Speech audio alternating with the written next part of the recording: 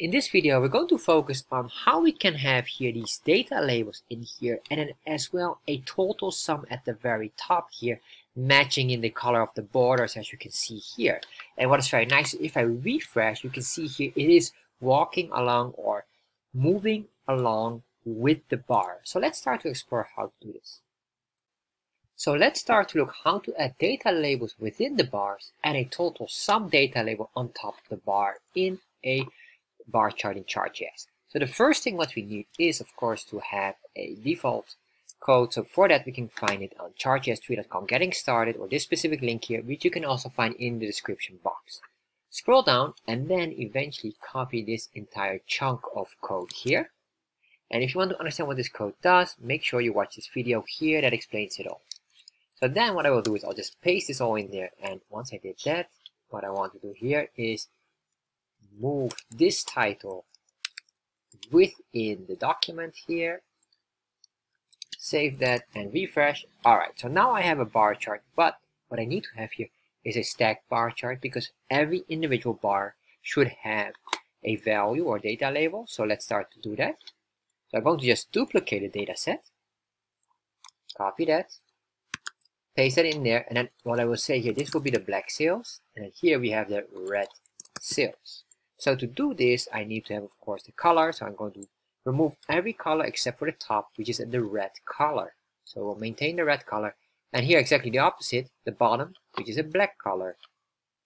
Put it in there. All right. To make sure it is clear, I'm going to renumber them all by a 1 till uh, 7.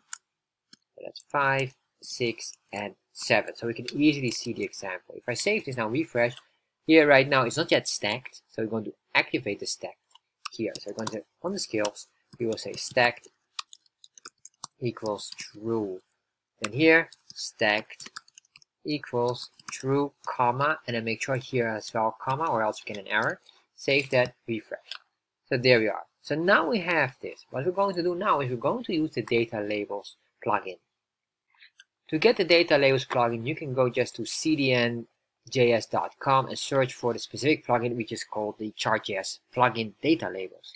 So I'm going to copy this and then you can click, click on this one here to copy the entire uh, code, the tag in itself. So and then I'm going to scroll up here on top and then I will paste this below the Chart.js library. Why? The Chart.js library needs to load first because this plugin is basically an add-on for Chart.js, meaning it has dependencies that needs to be loaded first in the Chart.js library and then this will work properly. So if I save this, it is not done yet. Let's scroll down here because we need to register or activate the plugin. So I put a comma here, just within the options, as you can see.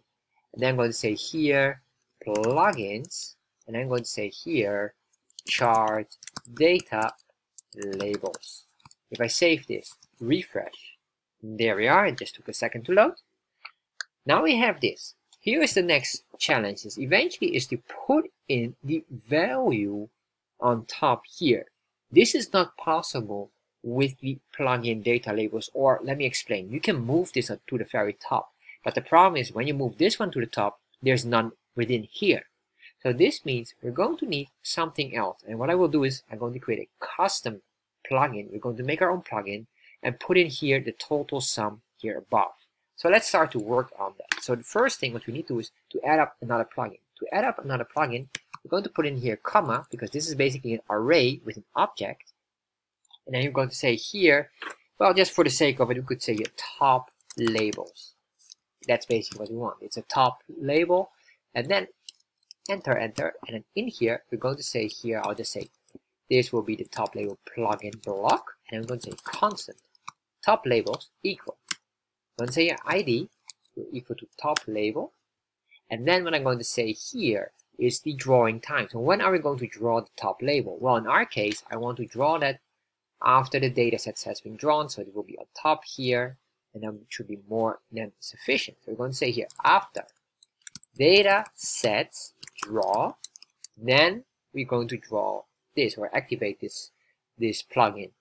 So then here we're going to have charts we have your arguments and then plugin options although the last two won't be used because these are directly connected with this we won't be using that at all or at least not in this video So then what I'm going to do here is I'm going to use object destructuring because the chart here has multiple objects because these are all objects and we need to have the specific items here.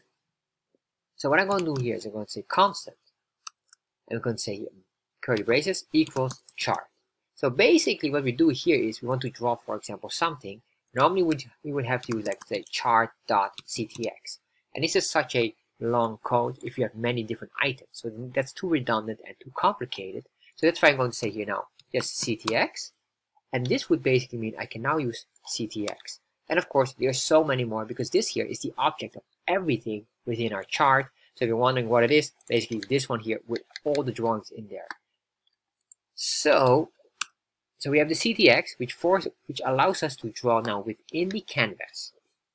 So the next what we need is, besides the CTX, is the scales. And I need here the X and Y values that might be very useful for us because we need to know the X and Y position of the items. Because basically we want to make sure that's here at the very top. So we need to know the position in pixels here. Later on, we're going to do that. All right, so now we have the most important items. Let's put a space here. There we are.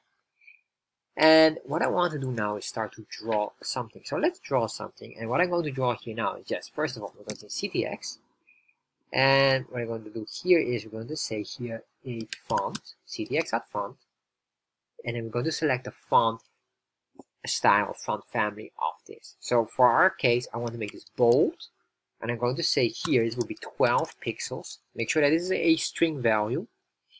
And then we say font family is sans serif once I have this I'm going to say ctx dot. And we can give it here we will say fill style for the color. So in here we can say here the color. What would be the color? For now I will just say blue. Or well let's get one of these colors here. Let's grab this. Later on I'm going to grab that color here dynamically. Semicolon. And once we did this, uh, we can do here finally ctx dot fill text, meaning we're going to draw now the text and to do two things. First of all, we have to put in here the text that we want to show. So what do we want to show? I want to show the sum of these two. So we have to work on that. That's a whole formula separate. So right now I'll just say here as a text number 19, comma, and this will be the x and y position. So for this, we still have to work on, but I'm going to put in here, let's say 100, comma, for the x, and 100 for the y position. If I save this now, refresh, you can see here now we have something working, and this is apparently 100 by 100. 100 from this point, this is the corner here, and it goes 100 to the right, and 100 down, or at least 100 pixels to the right and down. So what I want to do now is I want to make this specifically the position whatever we are on. So let's start to do that one. So I'm going to use a command here, the X, which is referred to the scale.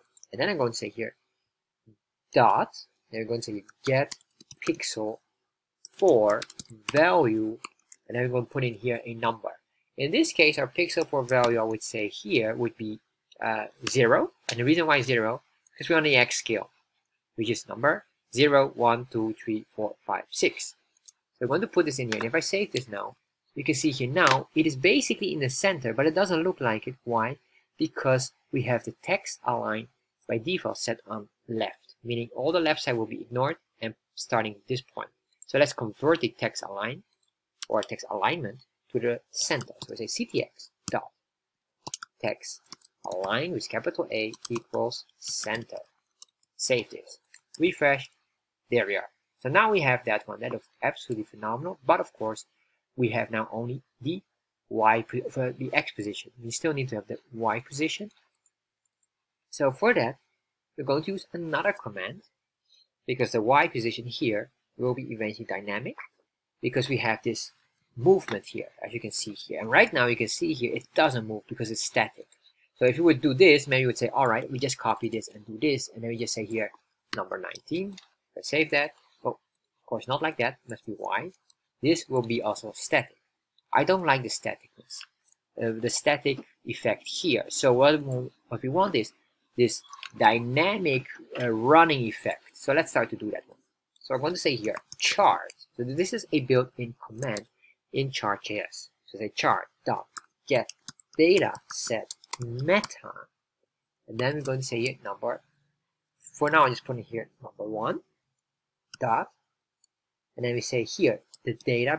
Basically this is the method would be the position uh, number one. And then we say data. Then we're going to get here the value index would be 0 dot y. So if I save this now refresh you can see here now we get the running effect. But of course as you can see here this is nice. But look we have still one more issue which is we need to push it up a little bit more. Alright so basically this here calculates the pixel amount. So what we're going to do here is it gets here the value whatever the value is but then converts it into a pixel amount. And that's why we have the running effect and it works nicely. So now I'm going to just say plus oh no sorry not plus but minus 10 pixels. Why? Why minus and not plus? If we go plus we're going down because the top here is zero. Down here is whatever the height would be of this canvas which we can search here let me do this you can see the height is 350 so if you go more down it means a higher value would be 350 or this is 350 halfway here 100 175 and up here is zero. So I need to go and reduce the amount whatever we have here by minus 10 if I save that refresh there we are. Alright so we have this now and we're very close to it because what we need to do now is start to loop through this entire item. So what we're going to do here now is let's see uh, we have this but now let's start to loop. And of course this is hard coded so far. I don't want that. And this one here is also hard coded and this one can maintain so that's fine. This doesn't matter so much. So what I'm going to do now is uh, let's see here. What we have to do here is we're going to enter enter here and then I'm going to create here a chart dot data dot data sets index zero and then we say here a dot data dot for each. Basically what I want to do here is I want to loop through what, exactly what I want to loop through every individual data point. So we're going to do that one and I'm going to show you, you might say, well, what, why we do this? Because we will be missing data set number one. Don't worry, I will have another trick for that that will loop through both data sets. But first of all, I need to know how many times we need to loop through. So I have like this here ready.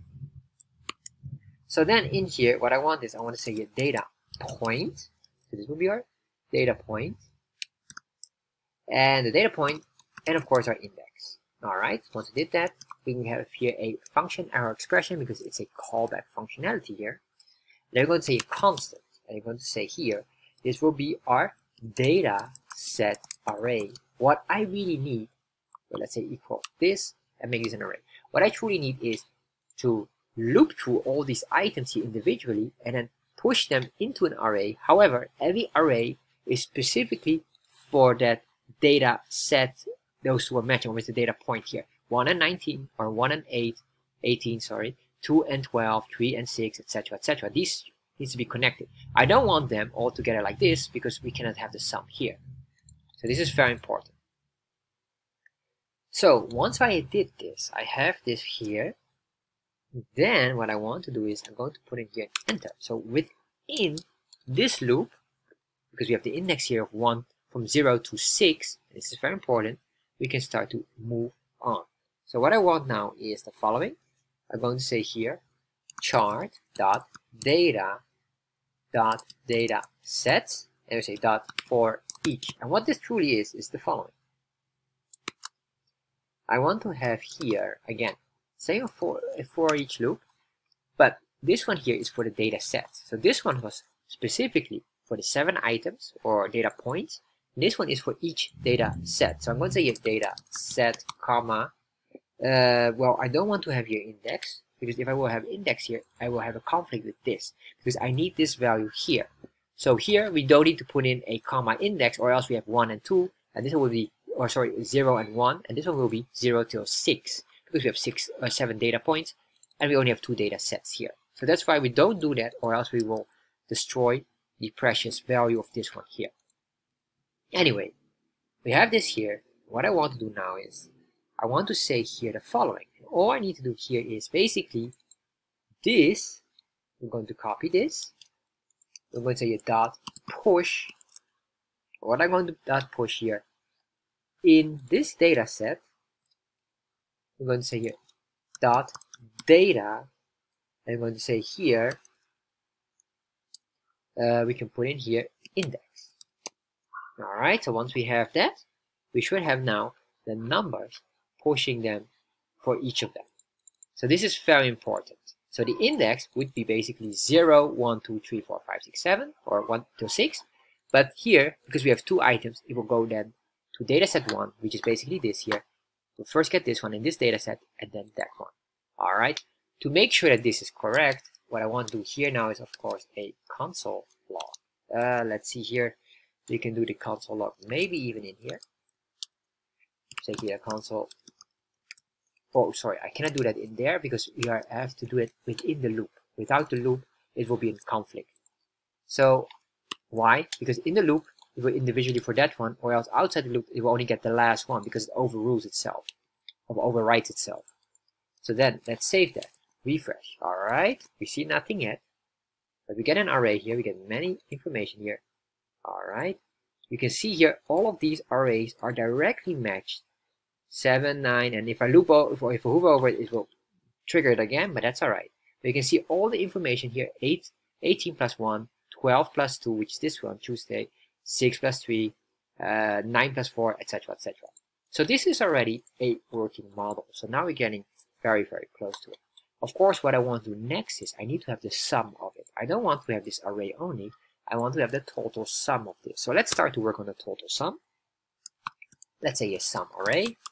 And then what I'm going to say here, function, we're going to say here total sum, which is basically total comma values.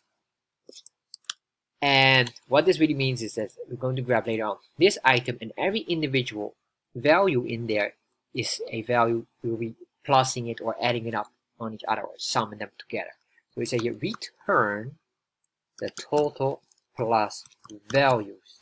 All right, so this goes in here, and then I'm going to say here, let sum equal basically which array, that's this array, we're going to sum this specific array, and then we're going to say here dot, uh, or no, dot reduce, that's the command or the method, and the reduce will be used with the total sum functionality. Here, comma, our starting value will be zero. Once we have this, you will see now if I have a console log sum, we should have now the value. Save that, refresh. Alright, so we get now all the values here. You can see 19, 14, etc., etc. All these values are showing. So now, of course, let's see here, this item, we can cut this all out. We have this all nicely. Put it in here. Give it a proper indentation. Alright. And then what I will do is I'll just remove this console log sum but I'm going to grab this sum here, put it in there, or as a variable. So it's a variable, not a string anymore. Save that, refresh. Alright, so now we have them, but you might notice one thing. It is looping on top of each other. So I don't want that. So what we're going to do here now is we have this, and then of course remember we have this index, because we're still within our functionality, and this index is still for us very important. So we're going to copy this and we're going to just put it in there and let's save that and refresh and let's see here all right now we get the height accordingly and then here we can probably get this one the index here as well. Refresh and there we are. So now we have this here but you might say hold on look what happened here. If we are too high what will happen? So let me show you here. If you put here another two save that. Refresh.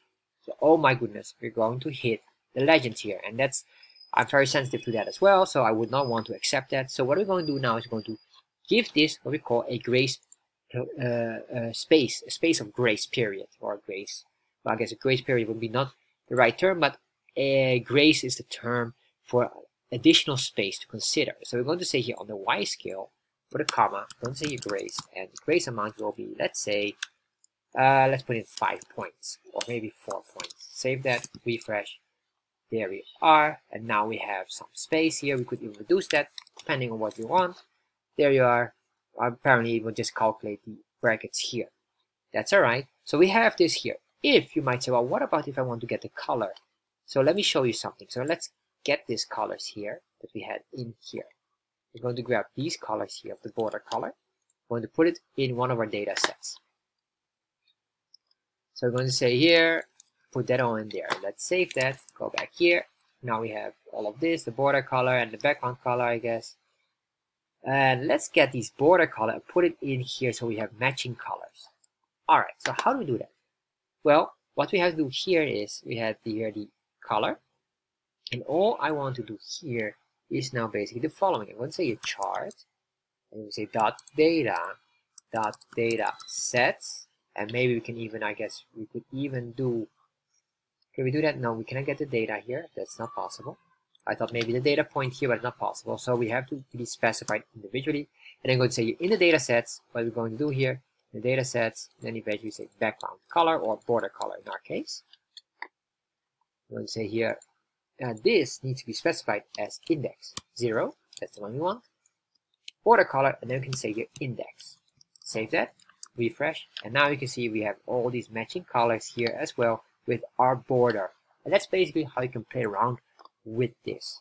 So that is completely how to do it. So maybe if you only have one item, you need to filter out an item here. And I've skipped that but because I have a whole video that explains that in here. I would highly recommend you this video here where I use almost the same methodology except I'm going to use a filtering in here as well. If you understand the filtering, you can apply that as well. Uh, copy that one and put it in here if you will only have a stacked with only a single item. So I highly recommend this one as well if you need that filtering in place.